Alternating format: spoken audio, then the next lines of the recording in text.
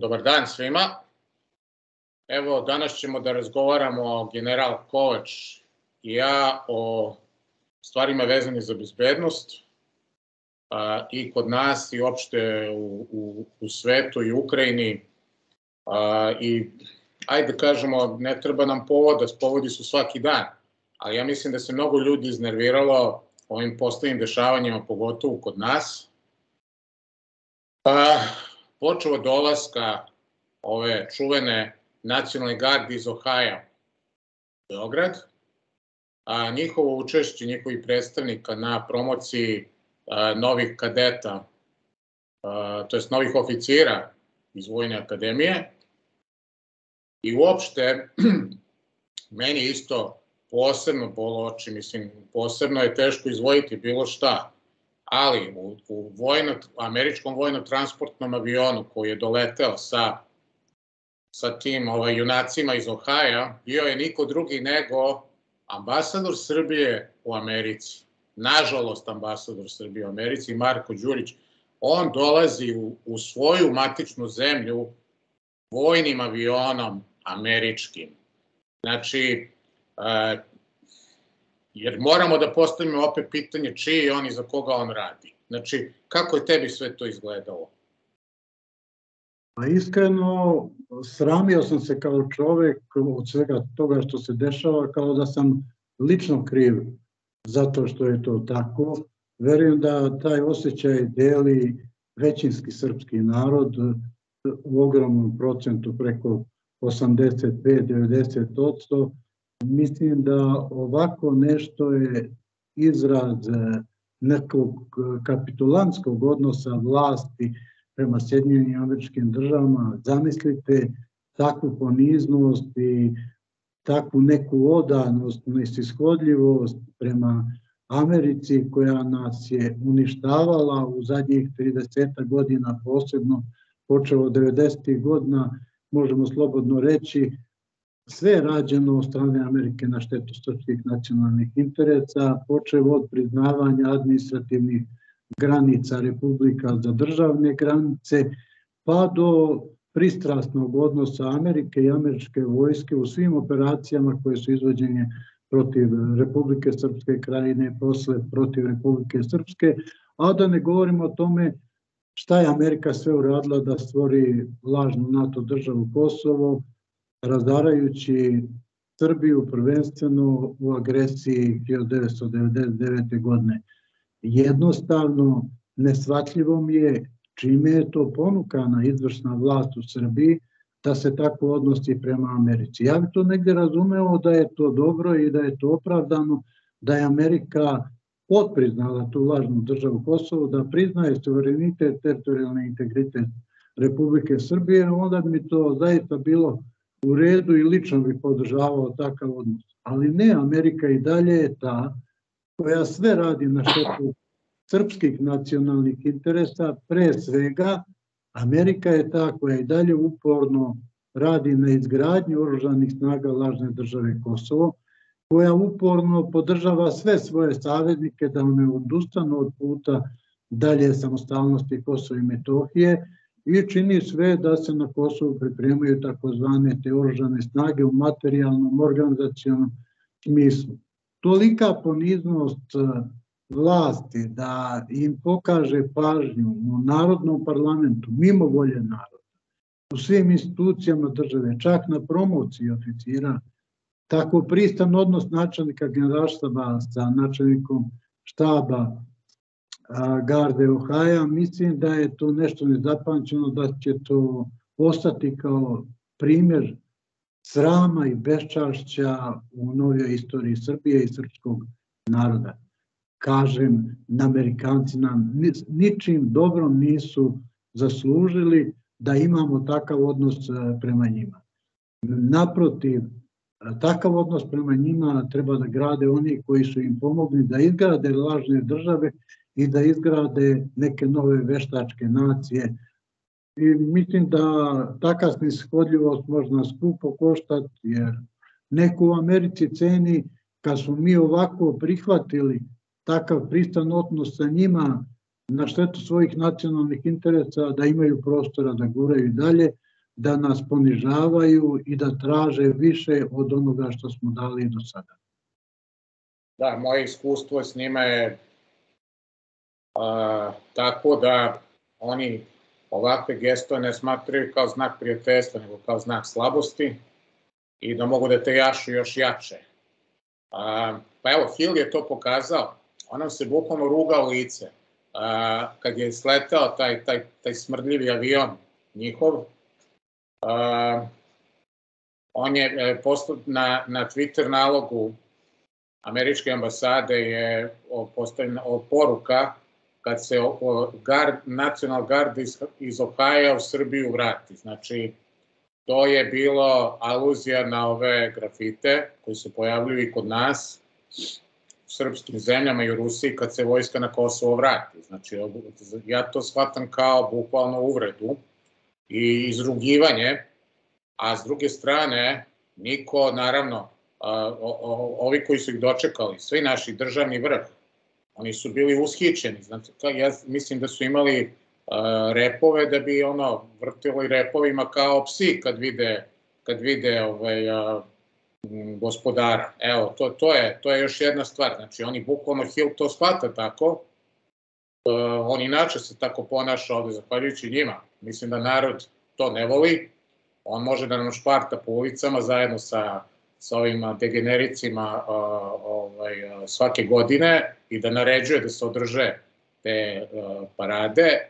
Pri tome mnogo njih su, su stranci koji dolaze ovde i koji nam se rugaju. Prošle godine jedan se bukvalno, jedan, jedan šiptar, bukvalno ispred crkve Svetog Marka ogolio zadnjicu, to su svi videli, ništa, to nema nikakve veze Ja mislim da on posle dobio batine, koliko sam čuo.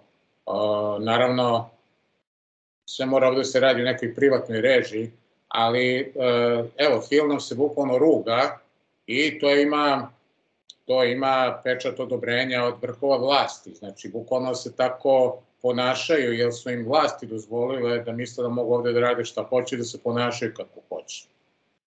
Naravno da nije Hill sam po sebi problem. Problem je naša vlast koja prihvata, po, na neki način podpomaže, postrekuje i saglasna je sa takvim ponašanjem Hila.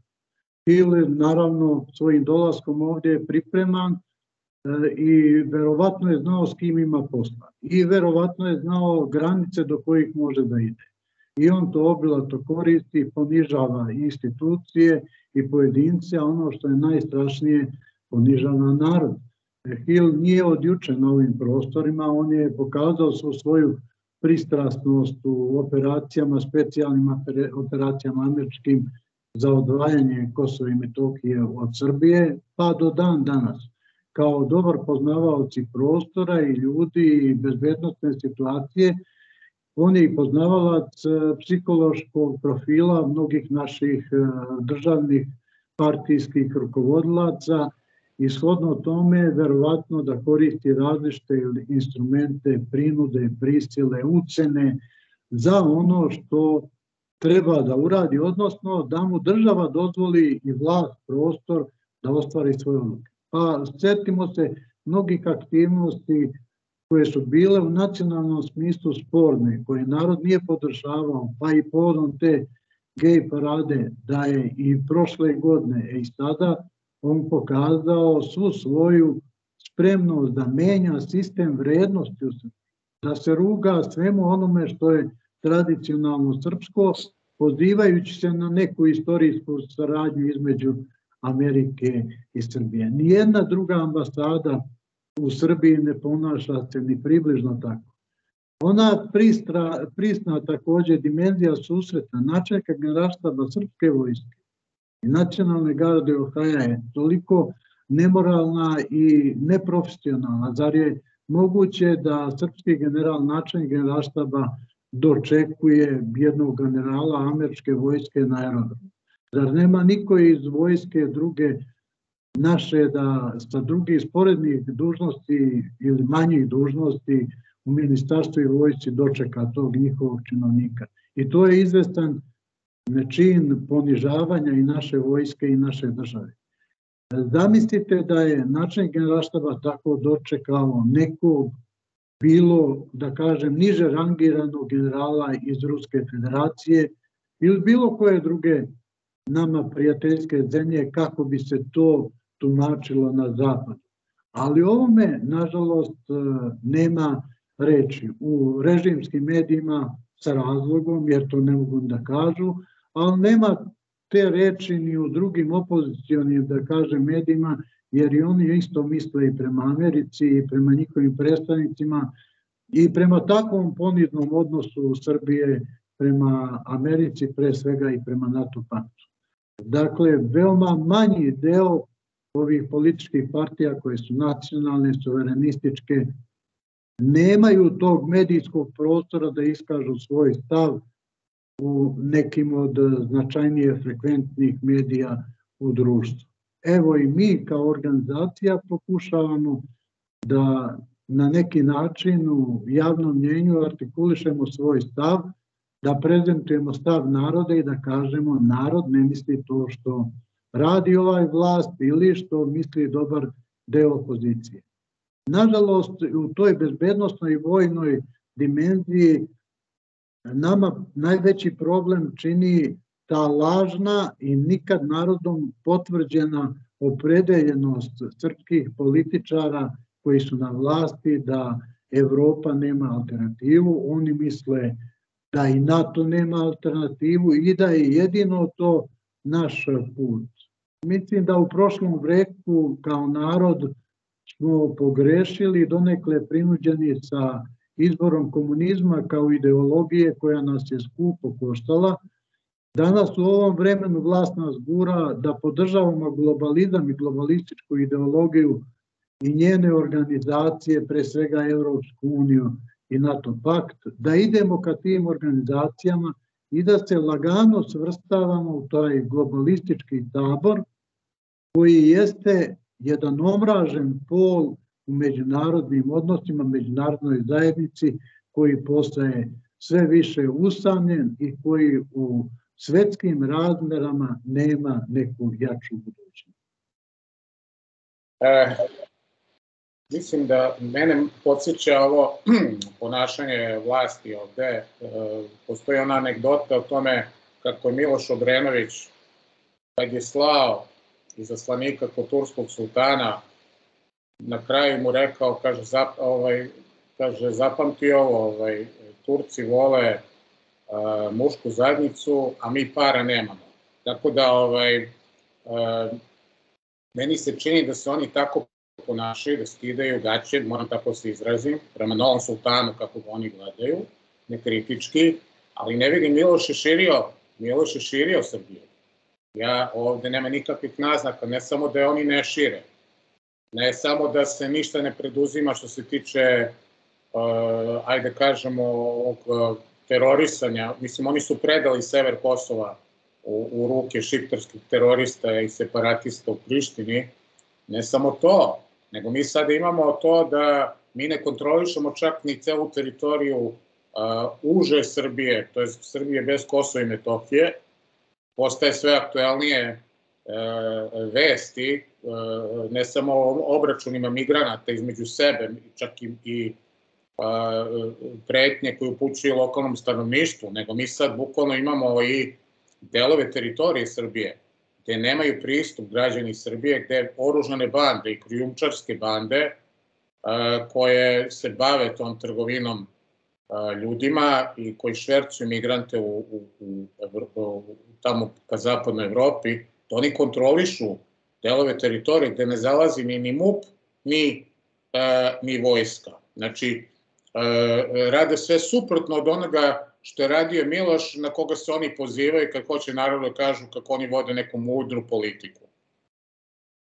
Pa u tom smislu nacionalnom ni Milošovo delanje u to vreme u ljudskom smislu niti je polučno, niti je za opravdanje, ni kako se odnosio prema sebi najbližim, pa i prema kumstvu. Neko to gleda sa čisto one politikanske strane šta je Miloš radio za nacionalne interese. Pa jeste ako se govori o teritoriji, a ovi naši danati u tom smislu nažalost gube kontrolu i na teritorijama. Spremni su olako da zaborave na Republiku Srpsku krajinu. Niko više sem onog sećanja na progon i na oluju ne govori o tome da treba podržati prava srpskog naroda u Republici Hrvatskoj na povratak svih onih kolektivnih prava koja su bila zagarantovana u planu Z4. Ono što je oduzeto nasiljem i što je izigran taj sporazum ne znači da je on za vječnost propao.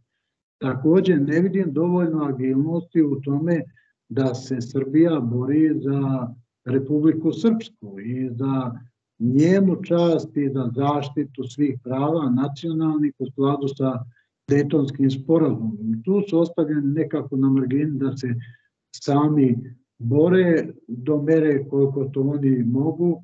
Ovaj deo u Crnoj Gori srpstva isto takođe pod parolom nemešanja unutrašnje poslove drugih država, jednostavno prepusta srpski narod i tamo da se radi sa njim šta hoće od strane te lokalne vlasti koja je pod potpunim, uticajem vodećih zemalja zapada pod plaštom takozvanih evropskih integracija. I nažalost ovde onda kad ne vodi računa u Srbiju van Srbije, ne vodi se računa ni o većinskim srpskim nacionalnim interesama u samoj Srbiji.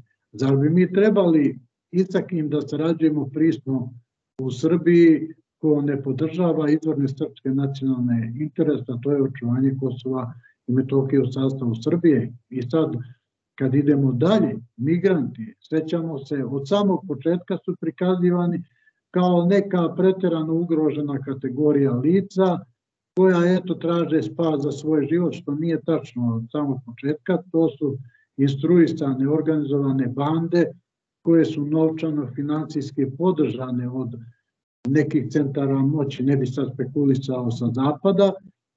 Mislim da se preko njih menja karakter ne samo Nemačke, nego Evrope cele i Evropske unije, pre svega kao organizacije, da se izgubi taj nacionalni karakter evropskih država, da postaje neka evropska gemiš nacija kao što je američka, bez e, izvornih nacionalnih vrednosti, nego sa nekim opštim vrednostima i da ta Evropska unija, unija postane u perspektivi monstrum država u skradu sa Lisabonskim ugovorom, gde je ona više centralizovana država nego što je sama Amerika. A ovi migranti na našoj teritoriji od početka nisu tretirani u skladu sa njihovim osobinama kao ljudi problematične prošlosti. Mnogi od njih jesu teroristi, ljudi bez identiteta, mnogi kojima se daju papiri da su prošli kroz teritoriju Srbije, Srbije i ne znam zaista da li u kom smislu Srbija preuzela neke obaveze o readmisiji da se deo tih migranata vraća iz pojednih država Evrope ili iz Nemačke, ukoliko njima ne odgovaraju skladu sa kriterijuma socijalizacije na tom prostoru. Ali mimo tog problema, naš narod u tim pograničnim oblastima Sombora, Subotice, u Podunavlju, veoma teško živi od terora tih migranata. Omladna, posebno devojke, posle 8 sati ne smeju nigde same da izađu, niti da se kreću slobodno, a mi o tome nemamo dovoljno informacije. Vidimo da sporadično prođu informacije koliko je migranata ušlo u zemlju, što je pre činjeno daleko transparentnije. Sad se ne zna taj deo, sem što se preko mreža, medija, tih neformalnih, šire informacije da su velike grupe ljudi koje onda baziraju u pograničnim delovima i traže puteve prelaska, da li preko Hrvatske, Bosne i Hercegovine, preko Mađarske. Problematično je o svemu tome da postoji bilo koji pedalj zemlje Srbije, da je u bezbednostnom smislu nekontrolica. Vojska Srbije nema obaveze u tom smislu, ali ima e, policija Republike Srbije, a i vojska u meri u koliko policija sama ne može da izvršava zadatke obezbeđenja državne granice ili kontrole bezbednosti na bilo kom delu teritorije Republike Srbije. Pre sam više puta govorio i na različitim stručnim naučnim skupovima o migrantima u regionu i ovde da pored te dimenzije menjanja socijalne i nacionalne strukture u Evropi, verujem da će migranti u projektovanim ratovima u Evropi u dobroj meri biti iskorišteni kao vojska NATO pakta.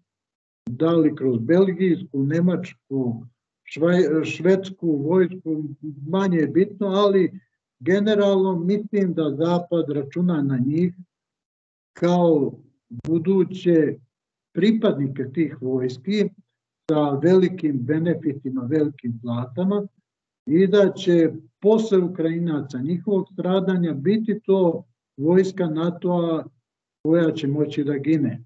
Zna se da NATO nema podnošljivu granica, granicu gubitaka i da zato se nije upustao u sukobe sa većim državama, niti ovde otvoreno smije da se upusti u sukob sa Ruskom federacijom na prostor Ukrajine ili susednih zemalja. Ali ne verujem da je i Amerika i da su vodeće sile Zapada trajno odustale od nekog takozvanom njima pobjedonosnog rata u Evropi, gde bi za nekoliko godina pripremali te horde da ratuju na istoku Evrope. Nije slučajno da Nemačka izdvaja tolika sredstva. Verujem u materijalnoj dimenziji za novo oružje i oprema, ali u dobroj meri za prijem regrutovanje novih vojnika Nemačke, odnosno NATO. A, sa našeg vojnog, e, e, bezbednostnog stanovišta, a, da postoji politička volja, koliko bi trebalo vremena da MUP i vojska, ako treba, počiste ovaj, a, te enklave koje kontrolišu sad migranske ovaj, oružane grupe, koliko bi trebalo vremena da se to dovede u red, da se oni pohapse i šta god treba i da se to očisti i da opet bude bezbedno to za lokalno stanovništvo. Ne treba tu puno vremena, treba dobre volje.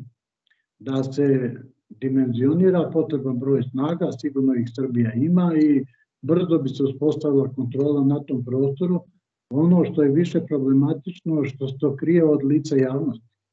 Zašto lokalni mediji ne odu ta mesta, sela, gradove, pogranične i prigranične, gde se nalaze te migranske horde i da izveštava o tome. Da govori na pravi način, pristrasno, ne u smislu da favorizuje taj odnos, lošeg odnosa prema migrantima. Ne, naprotiv, mi znamo šta su migracije, ali ovde se svi ti migranti koji su u dobroj meri bili psi rata i teroristi pokušavaju da prikažu kao human, humani ljudi, kao ljudi koji se bore za svoj novi socijalni status i u. Dakle, dakle ne bi licipirao sa vremenom, ne treba puno vremena, da li je to dan, dva, da se dimenzionišu snage i da se uspostavi kontrola. Ovde treba E, bolja ta bezbednostna zaštita lokalnog stanovništva, pogotovo te omladne, koja se osjeća ne, neslobodno ili nebezbedno. Malo pre govorih o tim devojkama, ženama, kako se osjećaju u to vreme pada mraka, da ne izlaze nigde van svojih kuća. I to ne traje 5-10 dana, to traje godinama. Mislim da i ovi alternativni mediji, pre svega YouTube kanali ili E, televizije, internet, trebaju otići na teren i snimiti pravo stanje na terenu kako žive naši građani i oko Sombora, i oko Suboce, i oko tih enklava e, na samom Podunavlju i da na taj način kažemo državi da je to stanje za lokalno stanovništvo nepodnošljivo. Pa, videli smo u subotu koliko je opet sredstava potrošeno na obezbeđivanje pederske parade u Beogradu. Ti, znači, koristi se MUP za to, ne koristi se MUP za da se ovaj, očiste migranti i to da se spreči, ali za ovo uvijek ima para. A to ispada da je bezbednost e, naroda manje bitna stvar nego sposobno, nego bezbednost takvih grupa, ali tamo je Hill se založio da treba to da bude bezbedno i da će on doći. Zamislite, obezbeđenje Hila i njegovog pristva tu mora biti daleko jače nego što je to obezbeđenje naše mladosti da može normalno da živi u tim pograničnim delom. Da. tu je još jedna stvar u pitanju, javna je tajna već godinama da ovde deo vlasti sigurno profitira od prolaska migranata kroz Srbiju, da su tu ogromne pare u opticaju i da u stvari jedan od razloga zašto se ništa ne preduzima po tom pitanju je što neko ima veliki materijalni interes da mi u stvari budemo protočni bojler za migrante i da se tu mnogo novca okreće i da u tome u stvari leži jedna od razloga zašto zašto se apsolutno pušta njima da polako zauzimaju deo po deo teritorije Srbije. Mislim da država Srbija nije iskazala dovoljno spremnost da sarađuje sa susednim zemljama koje imaju veoma jasan i nacionalno prihvatljiv stav prema migrantima. Mislim pre svega na Mađarsku. Nudla je više puta da zajedno ojača južne granice naše države i da na taj način zajednički se suprostavimo tih povrdama, a ne da ih baziramo u, brzini, u blizini naše i da im dozvolimo da dođu do, do blizine naše granice sa Mađarskom. Mislim da je takođe i Austrija u tom smislu iskazivala spremnost. Mi nekako posle neodgovornog odnosa Bugarske pre svega, delimično i Grčke prema tim migrantima, da im dozvoljava prolaz ka Evropi, ponašamo se na sličan način kao da će sa tim biti rešen i naš problem i problem Evrope. Nažalost, sve to što prođe preko naše granice učinit će i Evropu, a i njen jugoistok, a i našu državu nebezbednijom u budućnosti. To su ljudi koji se teško socijalizuju, vidimo šta takve kategorije stanovništva u bezbednostnom smislu znače za Francusku, kako su promenile francusko društvo, njihov tradicionalan odnos prema državi, prema vrednostima. Neko to želi isto da se desi u Nemačkoj, ali i u celoj Evropi. Zato kažem da migranti kod nas nemaju na neki način u bezbednostnom smislu pravilan tretman u odnosu na stanovništvo. Od same granice, naravno niko ne može potpuno obezbediti granicu, ali sigurno smo mogli obezbediti da manje migranata prelazi preko naše teritorije. Pre dve godine imali smo i mere zajedno policijsko-vojnih snaga koje su dale rezultate, da su u dobroj meri zatvoreni ti bili koridori i da nisu ovako slobodno mogli da skreću. Sada oni jednostavno idu u četnim vodnim kolonama, poluvojnim formacijama, jer je ogroman deo njih nosio oružje i bio u vojsci. E, pa mislim da verovatno se plaše između ostalog šta će da kaže nacionalna garda Ohaja. A, mi treba, treba znati ovo, oni dolaze oni dolaze, to je jedno 50, svojih 50 država imaju svoje nacionalne garde, to nije aktivna vojska, to su, to su rezervisti, oni bivaju angažovani povremeno u ratovima, ovim američkim kolonijalnim ratovima po svetu, ali su uglavnom to rezervni sastavi to nije ni blizu vrha njihove uh, borbene sile. Međutim, oni nisu u stanju da odbrane sobstvenu teritoriju. Uh, od kako je Biden ušao u Belu kuću, preko meksičko-američke granice ušlo preko 7 miliona nelegalnih migranata.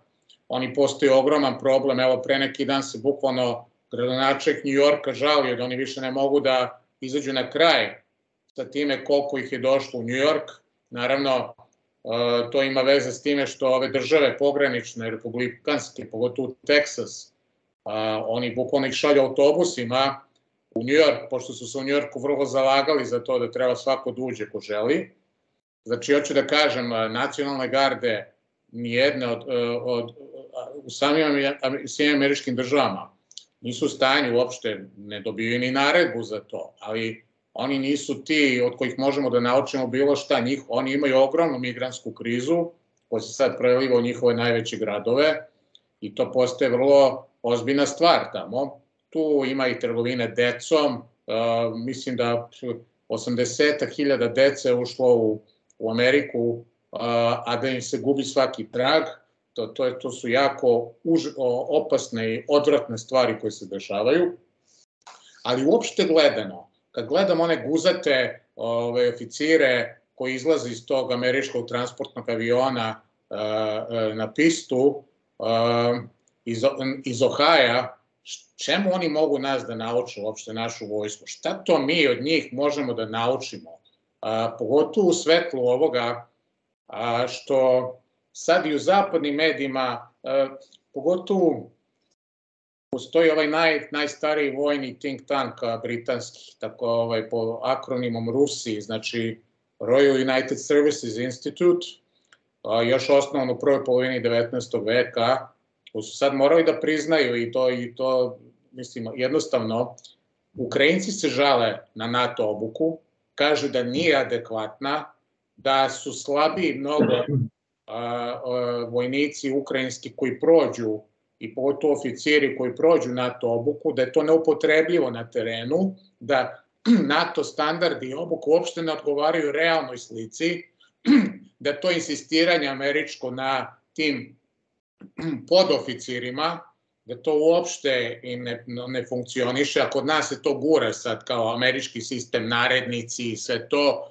i na kraju Ukrajinci opet a, će radije da, da, da, da, da svoju vojsku a, nadziru preko dronova i preko oficira do čina punkovnika, a, umesto preko tih podoficira koji su prošli NATO obuku, I na, naravno da ne govorimo o američkom i zapadnom oružju, gde koje Rusi prave lepo malo groblje od toga u Ukrajini. Znači, šta će nama uopšte, šta, to se sad u Ukrajini se pokazuje da NATO standardi uopšte nisu adekvatni. A, Rusi ih melju i to sa desetinom snage. A, i, I mi još dobijamo treće razrednu nu, nu, američku ovaj, verziju oružanih snaga koje nam ovde dolazi da nam navodno soli pamet i mi sad kao nešto od njih treba nešto da naučimo. Jadno je sve to što se dolazi u dome te saradnje. Sigurno da Vojska Srbije nije sama došla do Ohaja, da je u Ohio otišla politička delegacija i taj deo političke izvršne vlasti koji je posle oktobarskih promjena video jedini izlaz u toj tešnjoj saradnji sa Amerikom, sa Evropskom unijom, sa NATO-om. I to u nekoj mantri izbornoj, iako se menjala vlast iz različitih političkih garnitura, to je ostala konstanta. Možemo slobodno reći da je posle 2000. svaka vlast bila u manjoj ili većoj meri globalistička i odana zapad. Da je normalnog, moralnog, nacionalnog odnosa i ponosa mi ne bi sem na protokolarnom smislu i nivou sarađivali uopšte sa Amerikom, kamo li imali neku tu tešnju saradnju sa nacionalnom gardom Ohaja. Oni su više zloupotrebili taj osjećaj naše vezanosti za našu dijasporu, naše ljude koji žive u Americi generalno, a posebno u tom severno-severoistočnom delu Sjedinjenih američkih država. U vojno-tehničkom smislu, vojno-tehnološkom smislu mi od te nacionalne garde nismo, niti imamo šta naučiti. Pogotovo u smislu tih procedura koje nisu ni duhom, ni istorijom saglasne našem nacionalnom odnosu ni prema ratu, ni prema vojci, vojnoj delatnosti, niti odbrani zemlje. Drill kao osnova moći ili vaspitanja jedne vojske nikada nije bio ni kod nas dominantna karakteristika ni u Kneževini Srbiji, Kraljevini, niti u Kraljevini Jugoslaviji, pa posle ni u e, socijalističkoj federativnoj republici Jugoslaviji. Jednostavno, drill nije osnova vojne veštine, niti vrednosti vojne organizacije. Međusobno poštovanje i pravilni odnos između vojnika, narednika, podoficira, da kažem i oficira, to nešto što krasi istoriju srpske vojske i njihov odnos u svim strukturama organizacije od najniže dužnosti pa do najviše. Naše vojvode generali u Kraljevini Srbiji u oslobodlačkim ratovima su svetao primjer takvog odnosa i ponašanja gde je komandant e, brigade, divizije, puka vodio računa o vojniku, žrtvovao se često za njegovu slobodu, za njegov život i to je nešto što je kraslo srpskog oficira, pa i mnoge one naše krilatice koje su poznate i dan danas, iako to nije svojstveno savremenoj prirodi rata u smislu da se kreću njegovi počinjeni za njim. A, mislim da ovo će biti konstanta odnosa i saradnje dokle postoji politička volja, a vidimo da ona postoji. Kreator te političke volje jeste naša izvršna vlast i ambasador Hill. Na vojnom delu to sprovode evo od načelnika generalštaba pa drugih instanci. Nisu oni krivi što to moraju da sprovode dok su na tim dužnostima, ali su krivi za toliku pristrasnost koju ispoljavaju u tom odnosu. To je ono što sam i malo pre kritikovao, tolika ljubaznost, servilnost, meni bi bila razumljiva da je vojska Sjedinjenih američkih država, posebno ta nacionalna garda Uhaja došla da oslobodi Kosovo i Metohiju ili se zaštitnički odnosi prema srpskom narodu u Bosni i Hercegovini, odnosno prema Republici Srpskoj. Onda bi imao zaista opravdanje za tako jedno ponašanje. Sve dok mi prihvatamo njihov agresivan odnos prema našim nacionalnim interesima kao normalnost i dok e, gledamo, a ne vidimo sve to što su nam radili što rade, jeste nemoralno i nije saglasno većinskom mišljenju naroda. Zato kažem da i narod ne može da utiče na taj nivo i sadržaj saradnje ni sa Sjedinjenim američkim državama, ni sa njihovom vojskom, kao ni na ovakve odnose između rukovodećih političkih i vojnih ličnosti jedne i druge vojske. Naravno da zaokret je moguć onog momenta kada se promeni politička volja, kada neko u prvi plan bude stavljao srpske nacionalne interese i nikada se e, sebi ne može da dozvoli da se ponaša prema nekoj agresivnoj sili koja ugrožava njegove interese kao prema prijateljskoj zemlji. Mi ovakvu srdačnost nismo nikada ispoljili prema pripadnicima kineskih oružanih snaga, prema ruskoj vojsci i prema drugim vojskama iz sveta sa kojima sarađujemo, kao što smo to učinili proteklih dana. Posebno ovde apostrofiram i našu privrženost ili pretvaranje baze Jugu u centar saradnje malte ne sa američkom vojskom. Pod plaštom pripreme jedinica za mirovne operacije mi izvodimo mnoge vežbe sa tom vojskom u toj kasarni koju je financirala Srbija, poredski obveznici Srbije. I to je, bio sam tad još u vojci, prvobitno zamišljeno kao naša baza na jugu Srbije koja će imati pripravne gotove snage za odbranu ugroženih delova sa prostora Kosova i Metohije i odbranu onih prostora koje naseljava albansko stanovništvo, a koje je pokazalo u dobroj meri neprijateljsko raspoloženje prema Srbiji kao državi i iskazalo nameru priključivanja Preševa ili tih delova ka velikoj Albaniji.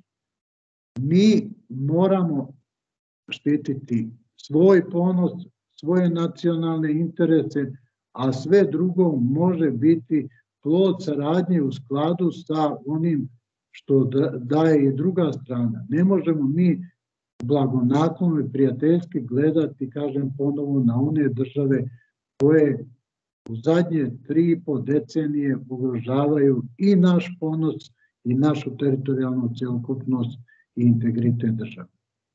Da, o tome se radi. Mi uh, možemo da imamo i najbolju opremu na svetu, ako tu nema ponosa, ako nema poleta, nacionalnog dostojanstva, džabat, sve to, zato što e, neće biti niko inspirisan da, da ratuje. ali mi stvarno imamo sada situaciju gde ti vade se na to da mi nećemo, da Kurti hoće da nas ovaj, uvuču u rat sa NATO-om. Evo, neki će da kažu u redu, to je legitimno, ali to, to je izgovor da se apsolutno ništa ne radi, da može Kurti da radi šta hoće sa, sa srpskim narodom na Kosovo i Metohiji, ali kakav ti je izgovor da, ne, da, se ne, da se bar ne obračunaš sa bandama, a, sa a, mafijom koja, koja krijumčari migrante preko Srbije. I da li će to da izazove a, sukob sa NATO? Pa naravno da neće. Znači, time ti pokazuješ to isto signal i Kurtiju i vojsci njegovoj koju on pravi mimo rezolucije 1244 uz američku pomoć na našoj teritoriji. To je signal. Srbija ne može da izađe na kraj sa migratskim bandama. Kako će da izađe na kraj sa vojskom koju obučava i oprema NATO pakt, takozvanim KBS-om, kosovskim bezbednostnim snagama koje pod našim nosom prerastaju vojsku. Znači, to je isto stvar, e, Vučić stalno govori o nekom odvraćanju. Pa kako ti, kako, koga ćeš ti da odvratiš? Prvo, kao vrhovni komandant, ti moliš, kumiš javno, smizdriš, a, ništa ne preduzimaš, dižeš borbenu gotovost bez razloga, pa vraćaš vojsku u kasarne, ali ti nisi u stanju da izađeš na kraj sa bandama iz Maroka, iz Afganistana na teritoriji a, a, koji ne kontroliše NATO pak, znači na teritoriji Srbije izvan Kosova i Metohije, kako je to odvraćanje? Zar to nije u stvari poziv na agresiju na Srbiju?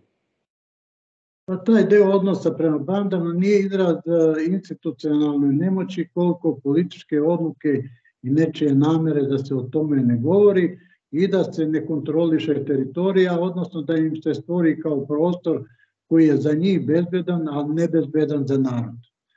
I ja mislim da tako treba gledati na taj deo problema, a ovaj deo što se tiče Kosova i Metohije, ne, ne učestvuje samo Amerika u izgradnji tih e, oružanih snaga lažne države Kosovo, tu su i vodeće druge zemlje Evropske unije i NATO-a. I Turska, Mi da. upravo sa tim zemljama želimo da budemo kao najveći prijatelji, da sa njima sarađujemo po svaku cenu i na svoju štetu, govoreći u prilog tome da mi nemamo drugog puta da to narod želi. Lažno je jedno i drugo.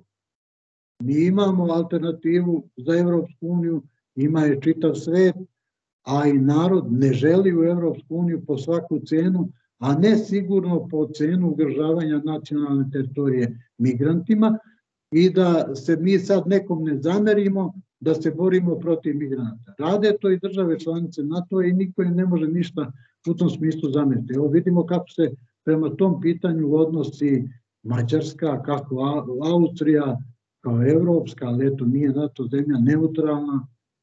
Mi ne želimo ni na takav način da se postavimo, nego sad pokazujemo kao najveće razumevanje, najbolji odnos prema migrantima u celoj Evropi. Ovde na Kosovo i Metohiji sve države koje učestvuju u izgradnji oružanih snaga lažne države Kosovo trebale bi da budu na listi zemalja sa kojima sarađujemo samo na protokolarnom nekom nivou, a ne države u čiji savet i u čije organizacije treba da hranimo. Ja ovde mislim da treba širiti tu ideju još jače u narodu, da narod mora na referendumu da se opredeli da li želi ovakvu Evropsku uniju, koja nas uvlači u kolonijalni status i da li želi ovakvu saradnju sa NATO paktom koji nas uvlači u odnos plaćeničke vojske. Mi znamo da evo već kosovske bezbednostne snage jesu u nekim misijama sa britanskom vojskom. Mi sutra treba da budemo u nekim kao mirovnim misijama sa američkom vojskom. Pa je to poruka da idemo u neke zajedničke misije bilateralne sa onima koji nam ugrožavaju elementarne nacionalne interese i mi nikakav osvrt ne napravimo na to zašto je Britanija uzela deo tih pripadnika kosovskih bezbednostnih snaga u sastav svoje misije. Ja nisam čuo nikoga iz izvršne vlasti Srbije, niti to pitanje da je razmatrano na Narodnoj skupštini, da kao neprihvatljivo pitanje nacionalnog odnosa Velike Britanije prema bezbednosti naše države kroz prihvatanje jedne paravojske za vojsku pod navodnicima sa kojom sarađuje. A pogotovo da mi učestvujemo u zajedničkoj misiji sa vojskom Sjedinjenih američkih državama, država vojskom koja je glavni garant bezbednosti lažne države Kosova. E, ovo što si pominjao sada, ko se učestvuje u gradnji, izgradnji terorističke vojske na našoj teritoriji, među tim NATO državama je između ostalog i Francuska. I mi smo govorili o tome u jednoj, u jednoj prethodnoj emisiji detaljno, vredi to ponoviti.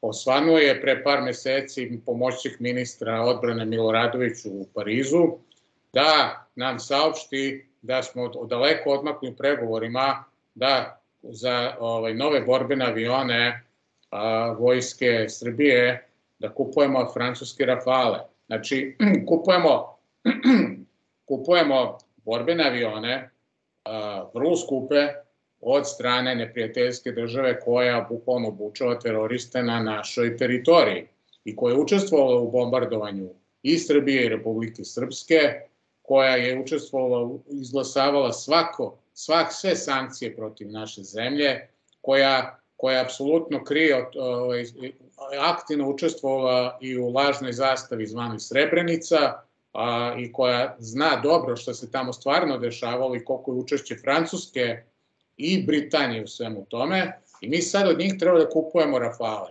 Kako to, e, koliko je to u stvari suludo?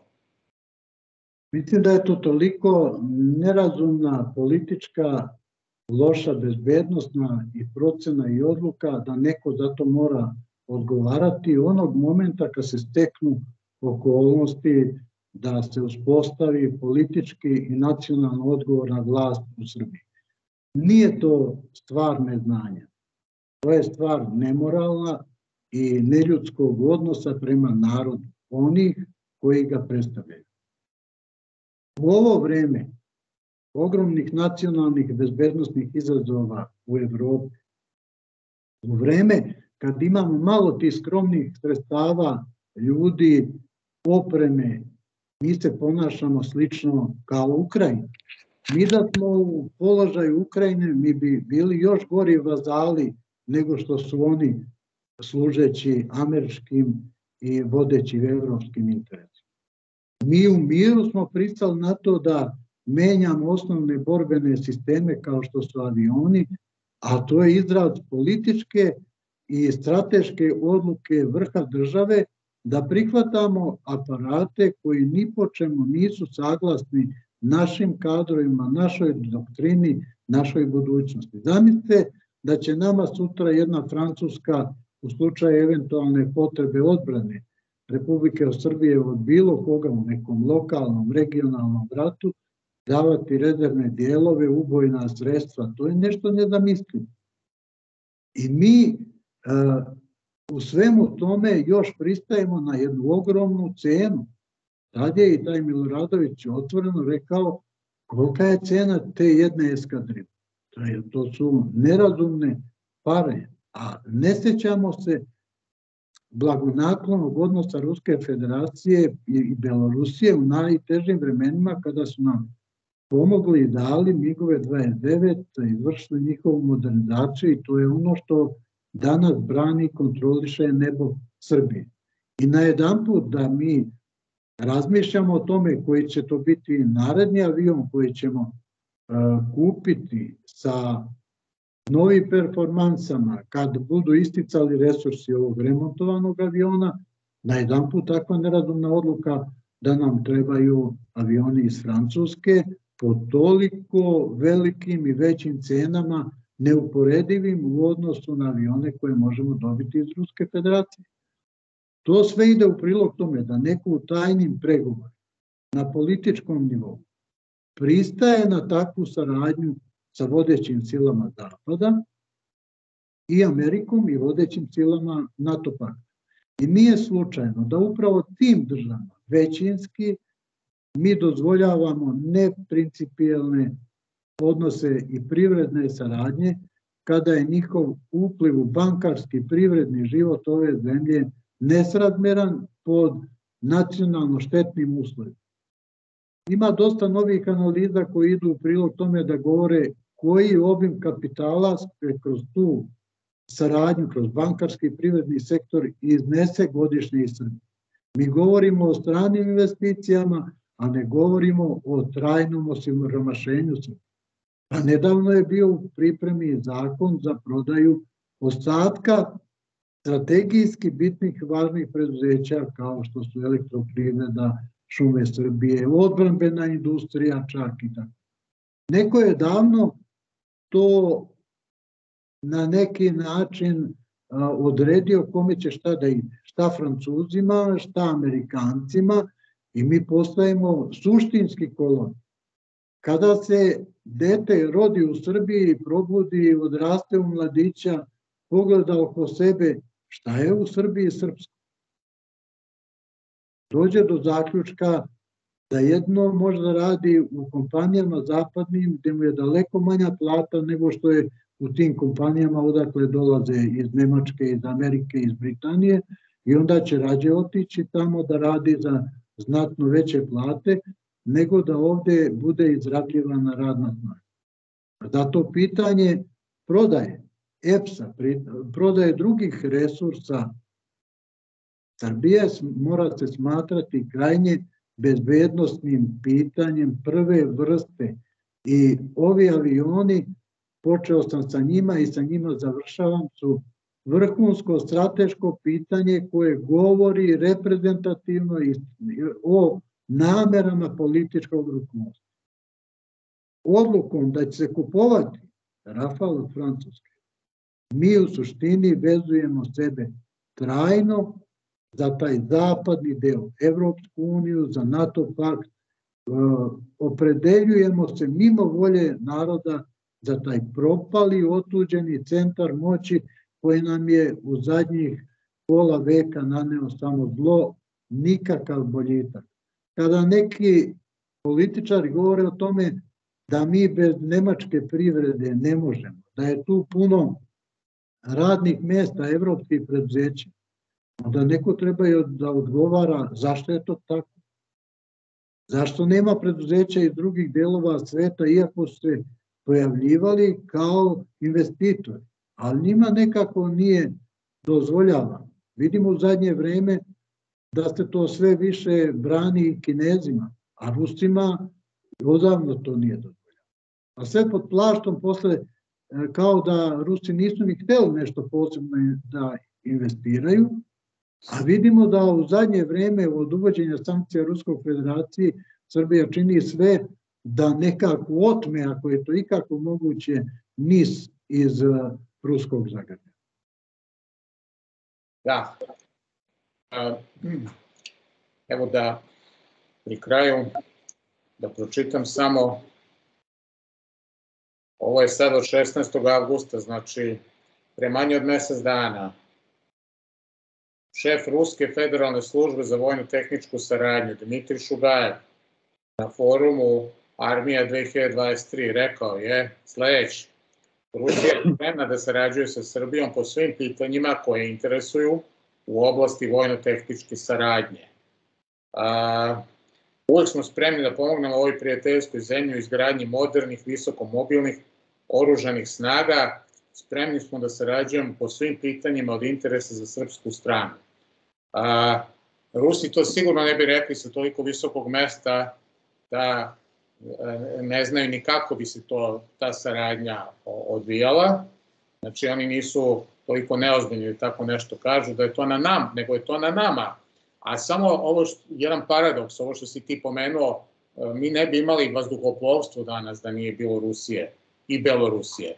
A, I šta smo mi imali sada? E, promocije ovih novih oficira iznad, iznad su, dok je tu u publici nije bilo ni jednog Rusa, ali su zato bili ove, ovi puzati oficiri ove nacionalne garde Ohaja, a iznad preleci su, je bio migovima 29, upravo onima koji smo dobili od, Rus, od Ruske federacije i mi ćemo sad sve to da lepo bacimo pod noge. Sad su nam prijatelji uh, uh, u Ohaju, nacionalna garda Ohaja, a Ruse niko ne sme ni da pomene. Mislim, to ne da nije, to ne da nije moralno, to je kukavički, to je potpuno nečasno što se radi. A eto, ako su nam veliki prijatelji, treba je dozvoliti vojci Srbije i policijskim snagama da se vrati na Kosovo i Metohiju. Onako kako Sokole u Ukrajinu da treba da se vrati u Donbas i na Krim. Zašto po istim kriterijima to ne čini Amerika i Evropa, Evropska unija i NATO? Ako su nam tako prijatelji kao što su NATO, nego nas, od nas prave ponižavajuće neke beskičmenjake, bez morala, bez dostojanstva, da upravo činimo sve ono što nije svojstveno srpskom nacionalnom biću. U sklopu duhovnog povratka svojim izvornim nacionalnim vrednostima kada se budemo odrekli zablude Evropske unije, kada shvatimo da postoji drugi polovi sveta koji nas i cene i vole i koji su spremni da nas podrže naš razvoj u svakom smislu, mi u ovo vreme geopolitičke promjena ne razmatramo alternativu BRICS-a, tamo gdje postoji daleko jeftiniji novac, tamo gdje postoji ravnopravna saradnja, nego idemo u jednu podaničku organizaciju gdje ćemo biti sve više ponižavani i sve više ucenjivani. Ne može neko da pravda donošenje promašenih političkih odluka zarad e, članstva i ispunjavanja kriterijima u nekakvoj Evropskoj uniji. Kada bude narod izabrao vlast koja će se e, lišiti te propagirane mantre članstva u nekim globalističkim institucijama poput Evropske unije, i NATO, a i ta Evropska unija je deo NATO, a ništa drugo, onda se može i kao narod nadati ostvarenju svojih nacionalnih interesa i povratka na Kosovo i Metohiju i zaštite Republike Srpske i saradnje strateške sa Crnom Gorom kao bratskim narodom i bratskom državom. To trojstvo jeste nešto na, nešto na čemu treba da se okupimo i kao narod i kao država i da ne izgubimo čast u ovim istorijskim vremenima. Prošla odluka podrška ideologije globalizma pokazala se veoma promašenom po srpske nacionalne interese. Ako budemo sada podržavali globalističku ideologiju i globalističke vrednosti, bojim se da će to nepovratno uticati na gubitak e, srpskog identiteta i srpske budućnosti. Apsolutno, pa u svakom slučaju ono što ohrabruje sve ankete e, koje se prave govore da narod je se oslobodio većinski zablude Evropske unije, da je plebiscitarno protiv NATO članstva, alergičan je na NATO, da je u ogromnom procentu na strani Rusije u ratu u Ukrajini, i da su Rusija i Kina ovde popularnije od svih drugih zapadnih sila koji, koji nam naše takozvane političke elite predstavljaju kao prijatelje. Mi u stvari u Srbiji imamo problem sa takozvanim elitama i zato smo i krenuli da se organizujemo sada, zato što jednostavno ove elite, takozvane, samozvane, postavljene, instalirane, one ne predstavljaju ni većinsku volju, ani karakter naroda kome svi pripadamo i zato ovaj, oni ne predstavljaju uh, suštinu Srbije, ali nažalost rade mnogo stvari koje neće Srbiji, ne služe Srbiji na čast i to je nešto što će morati da se ispravi. Lično mislim isto tako da srpskom narodu treba alternativa u tom smislu vođenja, da ono što je pokazala i vlast i opozicija u minulih tri, de, tri decenije suprotno srpskim nacionalnim interesima, ta alternativa se treba tražiti u predstavnicima izvorno srpskog naroda koji nisu okrenuti nika globalističkim centrima moći, nego koji su okrenuti prema svom narodu, gledaju šta narod želi, šta misli i pokušavaju da artikulišu njegov voj. E, na, ovom, na ovoj noti ćemo da završimo sad. u ostalom svi koji prate naš kanal, izuzev botova, a, misle što i mi. A, tako da a, nastavljamo sada a, mnogo, ajde da kažemo, intenzivnije sada tokom ove jeseni. A, kogod prati ovaj kanal videće u svakom slučaju do skorog viđenja. A, pozdravljam i tebe i sve koji su gledali. Svako dobro.